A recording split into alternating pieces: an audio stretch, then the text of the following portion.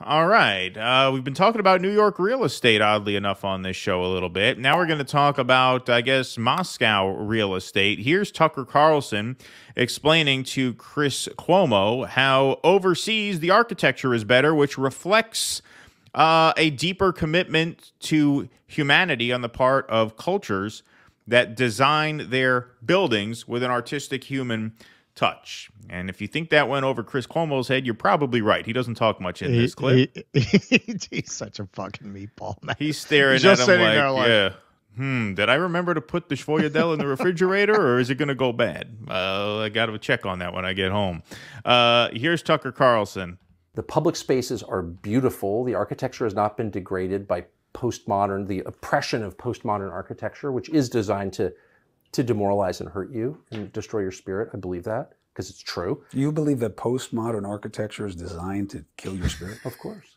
It was What's my message of it? understanding Well, there look, was to be anything that we gabagool. make with our hands, it's Chris Cuomo's like, man, 40 years ago, I'd have given you a hell of a wedgie for saying that. Yeah. Too bad we aren't on the schoolyard. Too bad Just we're on for saying postmodernism. yeah, exactly. It's the purest expression of our creativity. So there's a purpose behind everything that we make. There's a message behind all of it, as there is in all art. You don't paint a painting with no vision behind it. You paint a painting because you're saying something. And so buildings that are warm and human and that elevate the human spirit are pro-human. And brutalism, for example, or the I. M. Pei glass boxes that crowd every city in the United States, those are not elevating.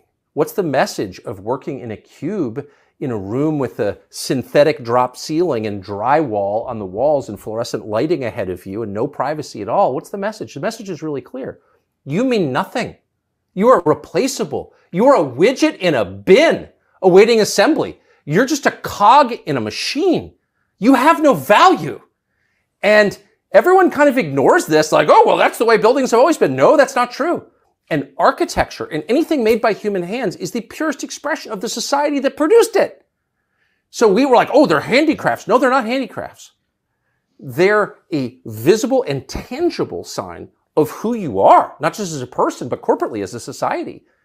And if you live in a place that creates nothing beautiful and doesn't provide people uplifting buildings to live and work in, that's a very sick and dark society. And it wasn't always that way. Yeah. Uh, I think he's right. I've never met an interesting person that lives in one of these very modern box apartments with the floor to ceiling windows and the uncomfortable furniture. Um, the, the- oh, there's a, what's his name? I this just came to my mind. It- it- River it's like, Page. It's like the apartment everyone in a rom com lives in. Exactly. That kind of thing. Just very sterile, very plain. River Page, uh, I should have pulled this article, but he wrote it so long ago. He's a blogger. Uh, he's got a great sense of humor. He wrote a, a good piece about the sort of banal artistic and stylistic taste of the very people that Tucker is talking about who would live in an apartment like that. He says if you go into one of these people's apartments, the walls will be white, but they won't call it white. They'll call it chantilly lace. They'll call it jasmine, even though it's just white, right? like that's that's their that's their taste is coming up with interesting words to describe very boring uh, and sort of inhuman, soulless things. And it's true of residential spaces, it's also true of commercial workspaces, as he says there.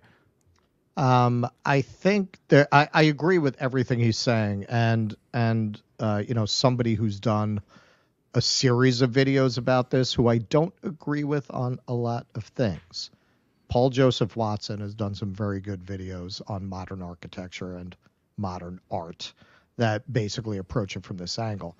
I think what Watson misses and what Carlson misses also because of their ideological biases is um, this is not coming from some kind of amorphous state that, as they seem to want to see it as something that's coming from top down. It's a natural outgrowth of the premises of neoliberal capitalism. Um, one, the uniformity comes out of mass production and mass society. When they started dealing with larger populations, the capitalist imperative to keep things cheap. Why get stonemasons for the peasants? Why? What do you need to beautify things in that way? When you're oriented around church and state where you really want to communicate to a largely illiterate population the grandeur of those institutions. Well, yes, you want that architecture to communicate the glories and the and the ideas behind the state and the church.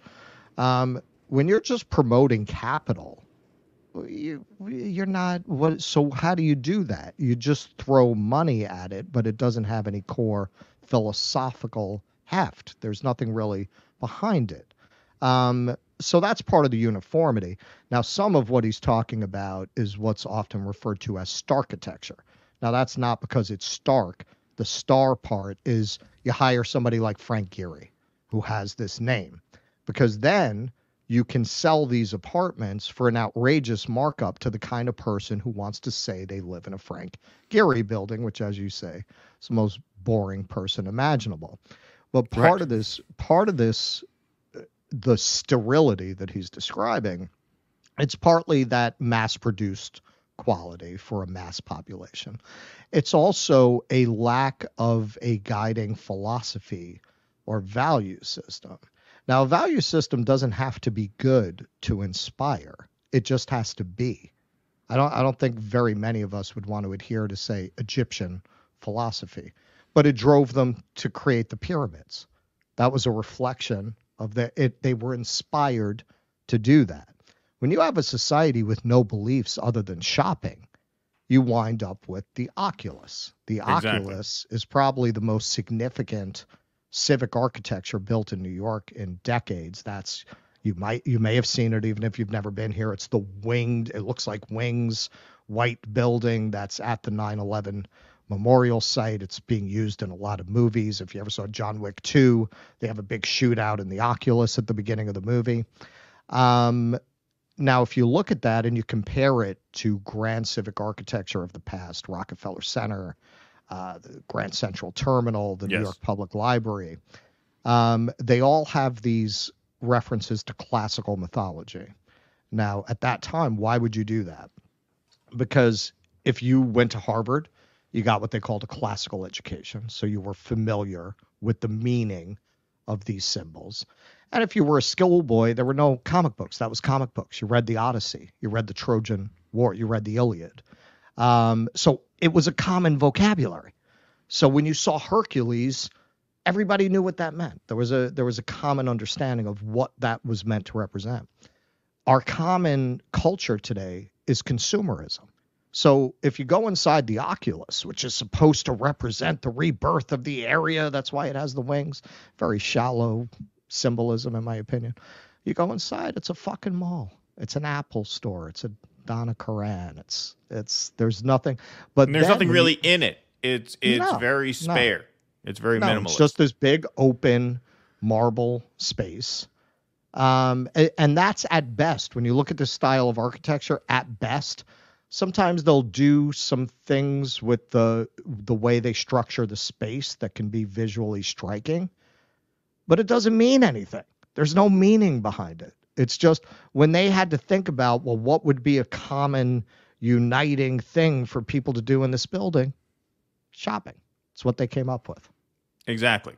Exactly. And at a certain point, capitalism creates its own culture. It's a culture that reflects back right. your capital right? right. The right. the degree to which you have ascended within the system, which is all you're trying right. to signal through the expression of whatever space you occupy, whether it's where you live or where you work. Right, sending that signal becomes most important because the culture exactly. has been completely consumed by that motivation, and that's largely what has happened to not just New York, but especially New York especially New York. And maybe especially. that's just I notice it more because I live no, no, it's because of the concentration of capital. Here. Yes, it is especially New York, and because it's not spread out like Los Angeles, everything's packed in. It's all about buildings. Buildings are the natural landscape of New York.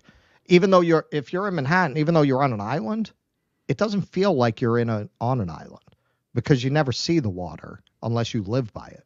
You're just right. you're just in those concrete canyons. That's all true. The time. Um, but another element that is very capitalist, if you look at these architecture buildings, no two of them are alike because there's no they've completely broken the principle of form and function. Right? Architecture has always been form and function combined. That's what we've considered great architecture. They threw out that unity of form and function because what they're really trying to do is branding. So Right. The so the buildings have a sameness to them, but physically they're all very different. You don't have anything like the pediment and the columns. You don't have this repetitive motif, right? Because you're trying to make a Nike swoosh so that the people Right. who buy an apartment in there Right. can say, "Oh yeah, I'm in that building," and it's not like any other building. But it has nothing to do with function. Right. Exactly. Please clap.